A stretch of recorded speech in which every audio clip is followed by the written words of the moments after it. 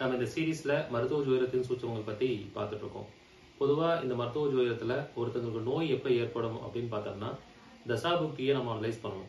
So ஆறாம் பாவத்தில் இருக்கக்கூடிய கிரகத்துடைய தசையோ புக்தியோ வந்தாலோ ஆறாம் அதிபதியோட புத்தி நடந்தாலோ அல்லது ஆறாம் பாவத்தை பார்க்கக்கூடிய ஒரு கிரகத்தின் புத்தி நடந்தால் அந்த டைம்ல அவங்களுக்கு நோயால பாதிப்புகள் ஏற்படக்கூடிய காலகட்டமா இருக்கும்.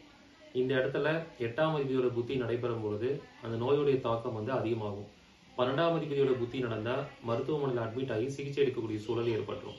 அப்போ இந்த ஆறு எட்டு பன்னெண்டு சம்பந்தமான புத்திகள் வரும்போது மருத்துவ ரீதியாக ரொம்ப கவனமாக இருக்கணும். இதுக்கு பரிகாரமாக அவங்க அடிக்கடி ஜிஹெச் பக்கம் போயிட்டு வருது அல்லது மருத்துவமனையில் ஆல்ரெடி அட்மிட் ஆனவங்களுக்கு ஏதாவது உதவி செய்கிறத பண்ணிட்டு வந்தாங்கன்னா அல்லது ஒரு ஆப்ரேஷனுக்கு ஹெல்ப் பண்ணாங்கன்னா இந்த பிரச்சனை வந்து அவங்க தப்பிச்சுக்க முடியும். இந்த மாதிரியான சூட்சம பலன்களையும் பரிகாரங்களையும் வகுப்பில் சொல்லிக் கொடுக்க போகிறேன் இந்த வகுப்பு வரக்கூடிய இருபத்தி ஆறாம் தேதி ஆரம்பிக்குது. தினமும் மாலை ஐந்து முப்பதுலேருந்து ஏழு மணி வரைக்கும் நடைபெறும். பழைய மாணவர்கள் மூத்த குடிமக்கள் மாற்றுத்திறனாளி கட்டண சலுகை உண்டு.